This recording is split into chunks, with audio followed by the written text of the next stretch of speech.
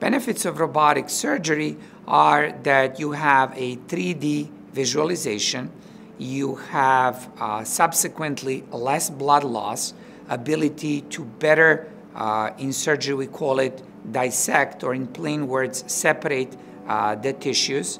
You have uh, um, the ability of a robot to translate your wrist articulation or your wrist motion directly on how the instruments work.